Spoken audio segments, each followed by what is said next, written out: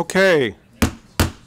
Why don't I call to order the 69th meeting of the National Advisory Council for Human Genome Research. Thank you all for coming. It's great to see you all again. I'll turn this over to Rudy for a few business items. Right, so uh, good morning, everyone. Let me remind you that the uh, open session of the council meeting is being uh, videocast live and uh, will be archived. And uh, before we get into our regular business, I'm going to turn the floor back to Eric. He has some words for our parting council members. Right, so this is, uh, this is a bittersweet council meeting every September because it means we are uh, bidding farewell um, to a number of our council members who have served their full time, shall we say. So in some ways, it's sort of parole month, if you will. Um, they've, uh, they, we let them out on work release now, but uh, they have uh, they've done their duty, if you will. They've done their service to the Institute, to the NIH, and in some ways to the nation. So um, we like to always acknowledge our outgoing council members, with those being, this is their last um, council meeting. I, I, would like to probably make a couple other remarks about this group in particular. Um, uh, because there is there is a certain novelty associated with this cohort of council members. Um, first thing to say is that uh, they've they've served the institute at what and, and the NIH at what truly has been a profoundly difficult time. Um, uh, on the one hand, uh, they are here to help us uh, develop our plan for genomics, which probably is the hottest of the hottest in terms of biomedical research. But uh, you're doing it at a time where um, I think many acknowledge is one of the worst budgetary circumstances uh, the biomedical research has seen, at least in recent years. Um, uh, with the sequester just being the last of a series of declining budgets, um, where things are just profoundly painful. And that has made it incredibly important uh, to have wise uh, advisors telling us um, what their thoughts are as how, we try to navigate this very difficult circumstance.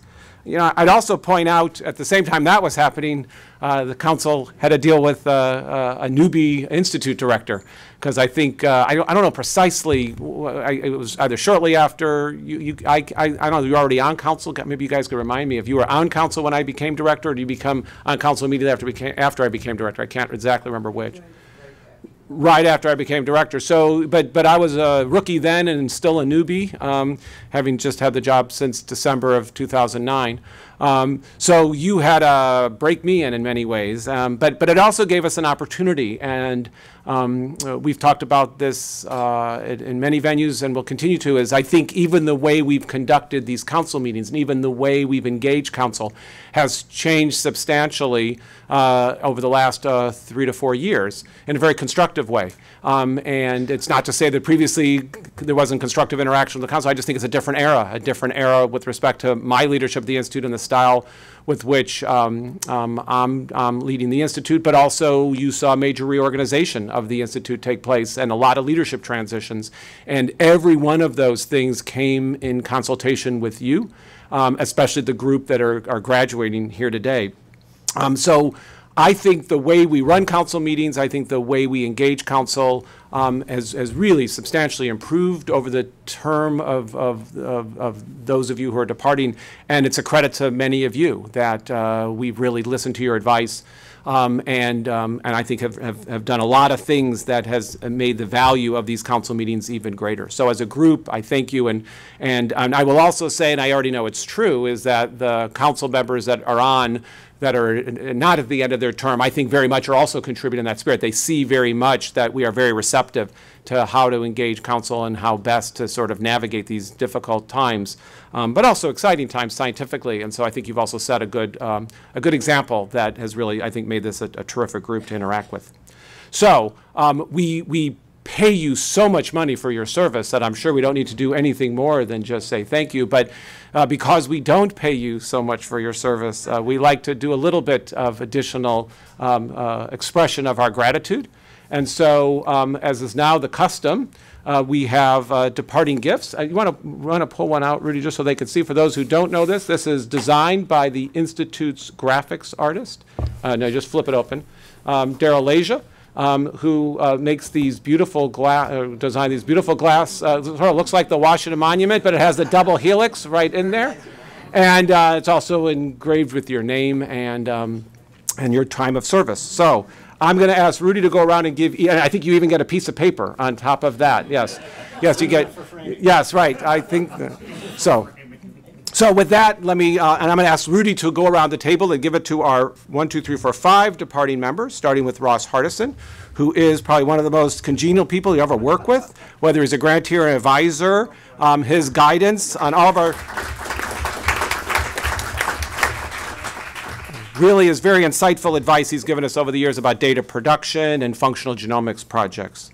Um, our quintessential biologist and geneticist is David Kingsley, who never loses sight of the big picture. I think David has given us many good ideas um, over his term on the council, so thank you, David.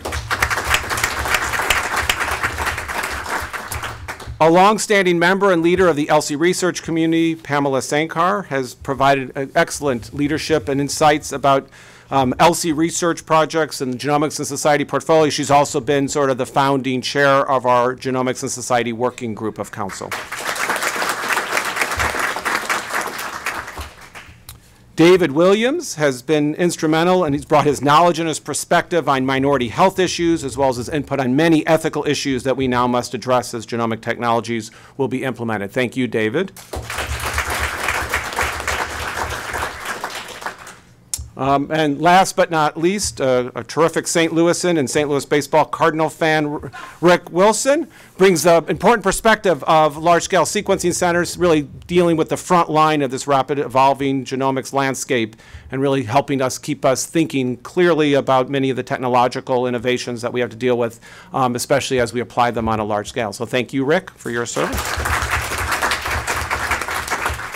I was also told um, to remind you that just because we bid you farewell from this group, that we have this incredible ability of retaining phone numbers and email addresses, um, and that it would not be surprising if uh, groups like, oh, I don't know, the NHGRI Review Branch or others like that would welcome you back, back to help in, with your peer review expertise uh, once you go off of uh, council's uh, role. So don't be surprised if you continue to hear from us in various ways. So again, thank you as a group.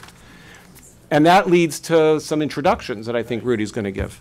All right, we have several new employees at NHGRI. Um, June and July are the months where we turn over a lot of program analysts, so there's several new ones that I want to introduce to the council. When I call your name, would you please uh, stand so the council members can identify you? Uh, Shannon Biello. Shannon uh, works on the Protein Capture Common Fund project and is part of Team Sequence, working predominantly on the large-scale uh, data sequen- da- sequencing and analysis groups. Catherine Crawford. Catherine goes by Katie, and she works on the uh, Cancer Genome Atlas and uh, TCGA and the Clinical Sequencing Exploratory Research, or CSER programs. Leigh Finnegan. Leigh works on uh, BD2K and the broader NHGRI informatics portfolio of grants. Brandon Floyd. Brandon is involved in all of the data access committees that NHGRI helps to manage, and he also participates in the population tracking activities that we report on to council. Preetha Nandi. Preetha splits her time between the Encyclopedia of DNA Elements ENCODE and clinically relevant variant resource CRVR projects. Queen Nguyen, not with us this morning. Uh, Queen works on uh, all things related to H3 Africa. Uh, Jacqueline Odgis. Uh, Jacqueline works on uh, Emerge, Page, and the newborn sequencing uh, programs, and you can call her Jackie and live to tell. Mr. Shane Clark. Shane is a program specialist, works in the Division of Genomic Medicine, and is probably involved in more projects than I can enumerate this morning. Thank you, Shane. Uh, we have two new program assistants, both of whom work in the Division of uh, Genome Sciences. Amalia Sobalvaro, not here. Uh, No. You'll see them in another venue then. Okay, from the uh, Division of Policy, Communications, and Education, uh, Renate Abramson. Renette is a program analyst working in the Policy and Program Analysis, or PBA branch. Uh, Kate Saylor. Kate is a health policy analyst, also working in PBAB. And Jonathan Bailey. Back there. Probably in the back room, right. Jonathan's a graphic artist, works in the Communication and Public Liaison branch. Okay, uh, I'd like to welcome the uh, council liaison uh, with us today, Joe McInerney from ASHG. Hi, Joe. Uh, Rhonda Schoenberg from the National Society of Genetic Counselors, Rhonda. And Judith Benkendorf from the American College of Medical Genetics and Genomics. Hi, Judith. We have uh, several visitors today at the council in person. Apparently, there's a tour bus from Ohio State University that came. Lori LaPiema, Zhao Liang, Rami Alovan, and uh, Lonnie Welch, all from Ohio State. Uh, There's a Sarah Beachy from the Institute of Medicine, and Rachel Levinson from Arizona State University is also joining us. We also have half of the incoming class. We bid adieu to several people this morning. You- You will have replacements. Um, And joining us today, uh, Chanita Hughes Halbert. Chanita is professor and holds the at and t Endowed Chair in the Department of Psychiatry and Behavioral Sciences at the Hollings Cancer Center at the Medical University of South Carolina. And Dr. Dr. Martin uh, Kreitman is professor in the Department of Ecology and Evolution at the University of Chicago. Uh, They will be joined in February by David Page from Whitehead and Eric Boerwinkle at uh, UT uh, Health Science Center in uh, Houston. And the four of them will comprise the class of 2017 for the council. Uh, Next on the agenda are the council minutes from the May council meeting. Uh, Does anyone have any comments or questions about the May council min- minutes? And if not, can I have a motion to approve them? Motion to approve. A second? All in favor? Any opposed? Thank you. Uh, On the open session agenda, I want to draw your attention to the future meetings of the council. If any of you have any, see any schedule conflicts, uh, please speak to me, and probably more importantly, speak to Comfort Brown about that. Okay, uh, Eric, I think I'll turn it back to you for the director's report then.